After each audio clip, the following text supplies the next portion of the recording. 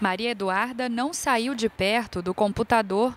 Estava de olho na divulgação do resultado do Exame Nacional do Ensino Médio, o Enem. Sempre me procuro me manter bastante calma, né? Mas por esse Enem ser o real mesmo, né? Que pode me botar dentro de uma universidade, eu bateu o nervosismo um pouquinho. A espera valeu a pena e o resultado não foi nada mal. Eu fiquei bastante feliz por eu ter evoluído, né? Em todas as áreas, incluindo redação, em relação ao Enem anterior. Em 2016, mais de 6 milhões de estudantes fizeram o Exame Nacional do Ensino Médio. O programa abre portas para que eles possam entrar em universidades públicas e particulares.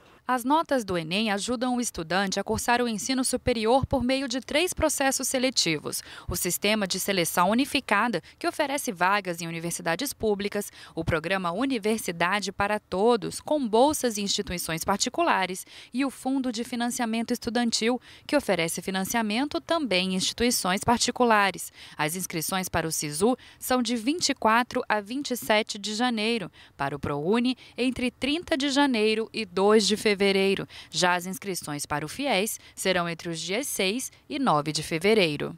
Maria Eduarda está ansiosa para se inscrever no SISU e quer concorrer a uma vaga para educação física na Universidade Federal do Rio de Janeiro. Falar que vai ser o maior sonho realizado, né? Porque eu sempre quis entrar na UFRJ. Eu quero ser professora efetiva de lá, né? Mas quero conseguir meu mestrado, meu doutorado e ser uma profissional boa. O colega de classe dela também tem planos para o futuro.